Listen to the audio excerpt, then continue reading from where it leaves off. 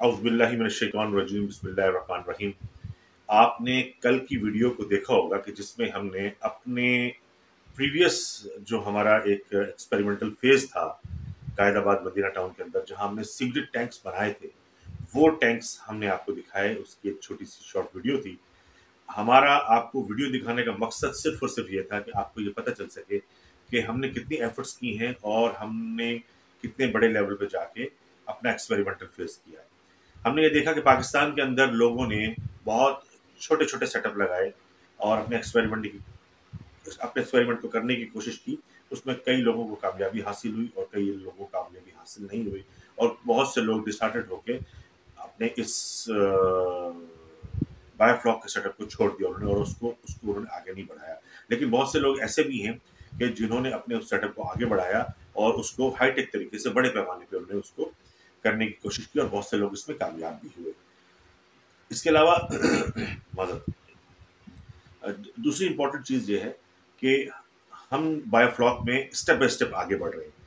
मैं आपको बायोफ्लॉक की जो ये ट्रेनिंग है, इसको स्टेप बाय स्टेप लेके इस तरह से चल रहा हूँ कि पहले मैंने आपको बायोफ्लॉक का तारुफ करवाया, फिर मैंने आपको बताया कि किस तरीके से कितने टाइप का बायोफ्लॉक होता है और उसको दोनों को डिफाइन किया उसके उसके साथ साथ पॉइंट जो थे उनके जो डिफरेंसेस थे।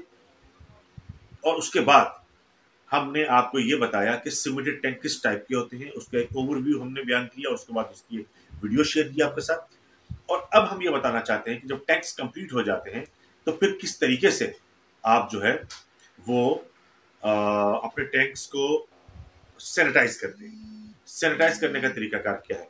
अच्छा सीमेंट के टैंक्स बनाना कोई इतना बड़ा इशू नहीं है। आप टैंक्स की जो एक मखसूस शेप होती है, वो हम आपके साथ ज़रूर शेयर करेंगे।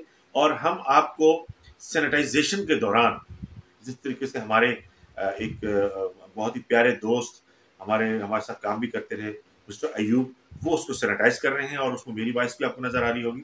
और उसमें आपको नज़र आएगा कि टैंक्स के अंदर जो हम, जो सैनिटाइजेशन के लिए, पानी के साथ जो हम पोटाशियम परमैग्नेट जिसको हम पिंकी भी कहते हैं, वो जब इस्तेमाल कर रहे थे, वो किस तरीके से पानी रोटेट होकर राउंड में जाके किस तरीके से वो ड्रेन आउट हो रहा है। तो उससे आपको अंदाज़ा हो जाएगा कि बेसिकली हमने बायोफ्लॉक के टैंक्स को बनाया किस तरीके से था। ये बहुत इंपॉर्टेंट है। अगर हम वैसे आपको दिखाने की कोशिश करें कि यार ये बात देखिए ये बायोफ्लॉक का टैंक है तो आपको नज़र नहीं आएगा।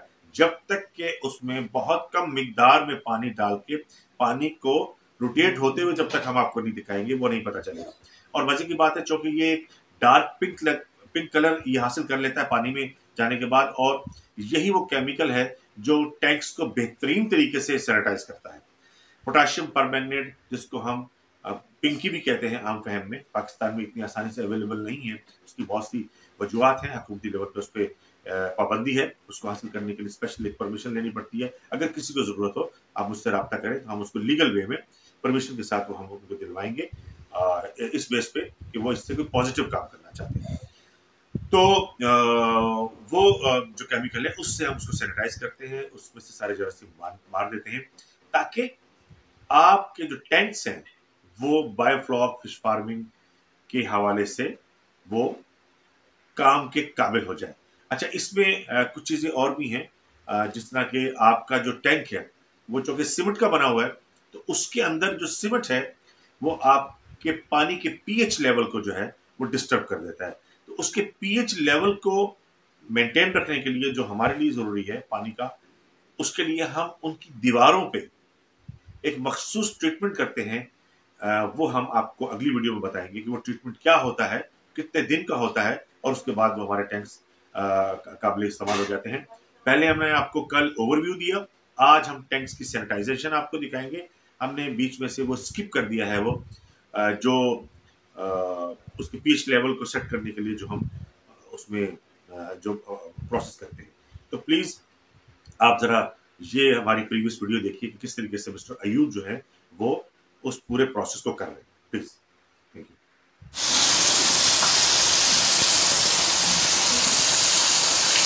आप सेंटर ड्रेन देखिए, कितनी स्पीड से पानी जो है, वो इसके अंदर जा रहा है। और ये हाइट है साइड से।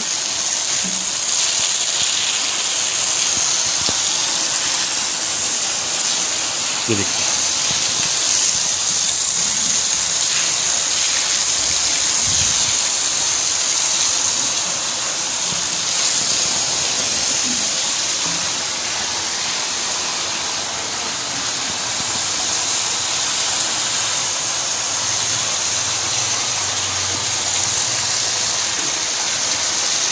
ये बायोफ्लॉक टैंक को अगर रेक्टेंगुलर आप बना रहे हैं तो फिर इसको ऐसा होना चाहिए कि ये बिल्कुल पानी उसमें बड़ी स्पीड से घूम के उसके अंदर पहुँचे।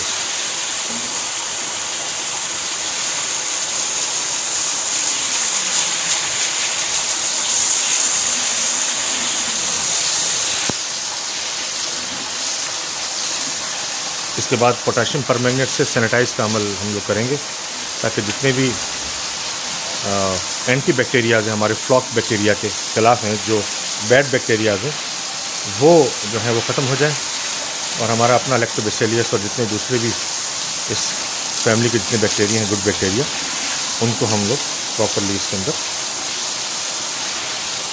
दूसरे लफ्ज़ों में पाल सकें, क्योंकि उनको भी मछली की तरह पाल नहीं होता है।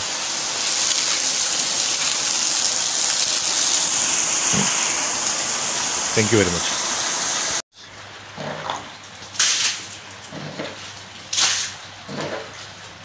ये फ्लोर जो रह गया था, फ्लोर कंप्लीट नहीं हुआ था। अब फ्लोर पे जो है वो पोटाशियम परमैग्नेट का इस्तेमाल कर रहे हैं ताकि ये सैनिटाइज हो जाए।